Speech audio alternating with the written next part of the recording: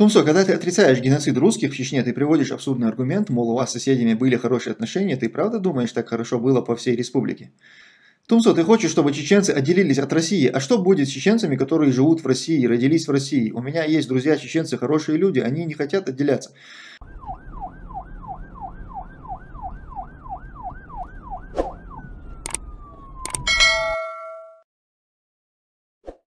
Давайте начнем с э, годовщины удара по э, мирным объектам города Грозного, который был произведен Россией 21 октября 1999 года.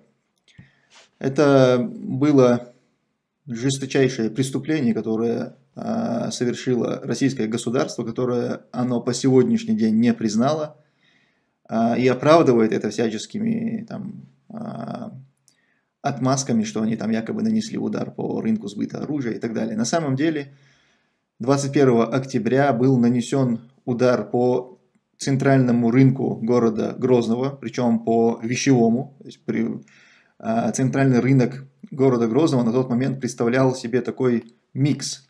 То есть там где-то была часть, где продавались продукты, часть, где а, продавались вещи, там где-то был крытый рынок, в общем, открытый и разный. И вот они ударили тогда прямо в открытый рынок вещевой, там, где продавались вещи, где в основном работали женщины. Процентов, наверное, 95 всех а, продавцов на этом рынке были чеченские женщины. И, а, значит, второй удар был нанесен по центральному родильному дому в городе Грозном.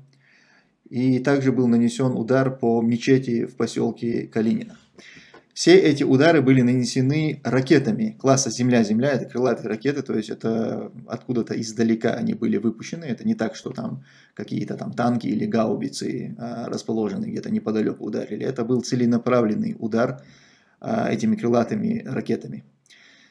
И на тот, да, тогда погибло очень много а, людей, в общей сложности 137 человек, ну в общем в порядка 150, да, понятно, что, возможно, кого-то не э, посчитали, и это массовое убийство мирных граждан.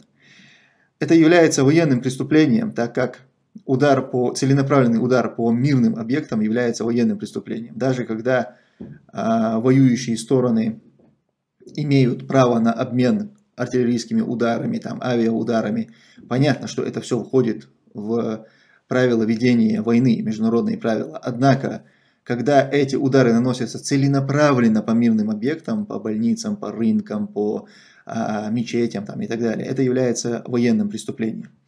На рынке тогда погибло а, 61, жертвы были 61 человек. А, в родильном доме погибло а, 13 женщин и 15 новорожденных малышей. Семь человек погибли от осколков на стоянке перед зданием роддома.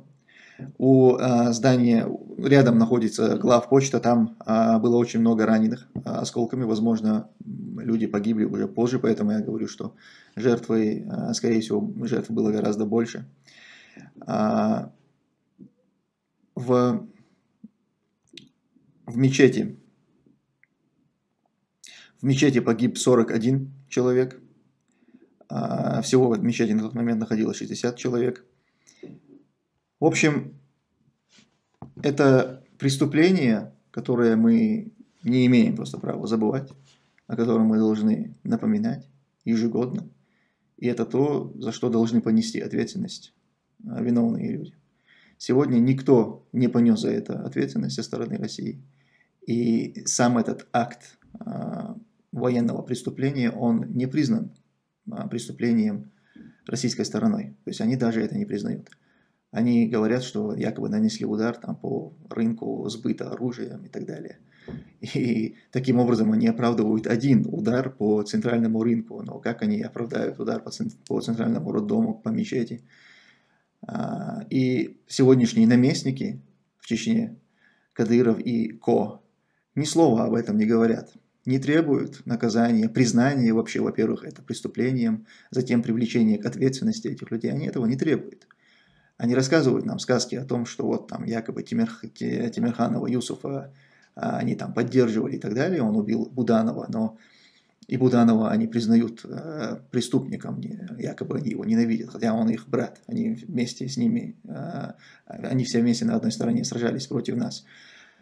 Но вот эти вот преступления, и, и сколько подобных было, Алды, Самашки, э, сколько было таких военных преступлений, ничего из этого не признано Россией как преступление.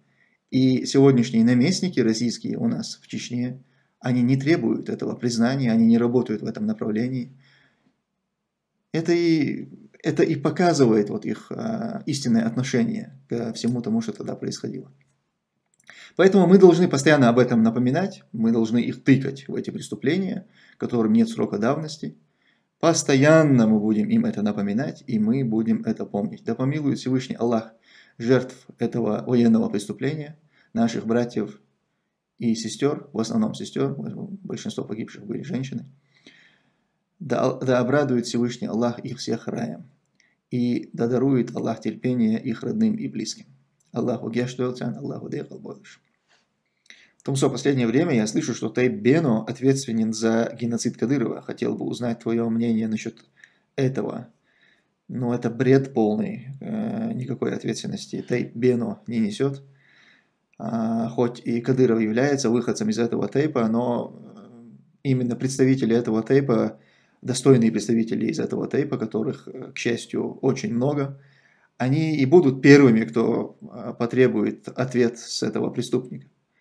Хвала Аллаху, мы, наш народ в целом, чеченцы, мы уже ушли, мы как бы этот этап формирования народа, когда, когда эта клановость, тейповость, племенность ей отдается большая роль, но мы это уже преодолели. Это бывает, когда народ маленький, затем происходят какие-то внутриполитические процессы, когда сын выходит против отца, брат выходит против брата, и как каждый как бы, народ в своем становлении, он проходит эти этапы. И мы уже прошли этот этап, и у нас э, нет такого, что вот какой-то тейп, у них там в целом, значит, одно мировоззрение, и теперь, если, значит, э, если они придерживаются такого мнения, то, то все, значит, э, все остальные, их потомки тоже будут там придерживаться этого мнения. У нас нет, мы это уже преодолели. У нас из одного и того же тейпа есть э, чеченские генералы, так скажем, да, и есть российские генералы. И это люди, которые друг друга ненавидят, которые друг с другом сражались и сражаются, и будут, иншаллах, сражаться. При этом они могут быть даже очень близкими родственниками, не, не просто там из одного тейпа выходцами, а даже могут быть родственниками. Но они сражаются друг с другом. И это вот тот этап, который уже все, мы его преодолели, и возврата к этому у нас уже не будет. Томсо, когда ты отрицаешь геноцид русских в Чечне, ты приводишь абсурдный аргумент, мол, у вас с соседями были хорошие отношения, ты правда думаешь, так хорошо было по всей республике? Я, никогда это не было моим основным аргументом, а, это скорее уже после того, как аргументы э, высказываются, после этого уже как добивное, добивное, как бы, да, я говорю, ну и, собственно, мой личный опыт, да, и рассказываю о том, что были хорошие отношения. А так основным аргументом всегда в пользу геноцида являются э, доказательства того самого геноцида. Это в первую очередь жертвы. Э, нет жертв, нет геноцида. А в Чечне нет ни одного массового захоронения а, русскоязычных людей, русских людей, которые бы погибли не от российских бомб и там, от э, российских арт-ударов. То есть такие, конечно, есть. У нас во дворе, допустим, есть такие погибшие русские люди, но они погибали именно от бомбардировок, там, от артиллерийских ударов, так как бомбы и артиллерия, они ведь не выбирали, кто там русский, кто чеченец. Понятно, что они всех нас накрывали. И у меня, допустим, учительница, моя классная руководительница, она погибла именно от э, бомбардировки, от авиационного удара. Моя соседка, э, тоже русская бабушка, сгорела, опять-таки, от удара, ударов артиллерии прямо у себя дома. А, а вот именно результатом какого-то геноцида, то есть чтобы были жертвы, чтобы были захоронения, которые а, были бы обнаружены, задокументированы. Такого нет. Это самый главный аргумент. Также нет ни одной, не то что международной правозащитной организации, но даже российской, правозащитной организации, которая бы зафиксировала факт геноцида русского населения на территории Чечни. Ни одной, нет ни одного такого доклада. Все то, что говорят о якобы геноциде а, русского населения, это какие-то сомнительные каналы в Ютубе и какие-то комментарии. Ну и статьи, может быть, там на каких-то сайтах, опять-таки, сомнительных. Вот это все, а, все свидетельства геноцида. И еще самое интересное, что о самом геноциде русских, так называемом, да, там, геноциде русских людей в Чечне, заговорили далеко после окончания Первой российско-чеченской войны, когда солдаты, когда вообще входили э, российские войска на территорию Чечни впервые в 1994 году, нигде в мотивации этого, э, это, этой, значит, этой войны не было вот этого геноцида.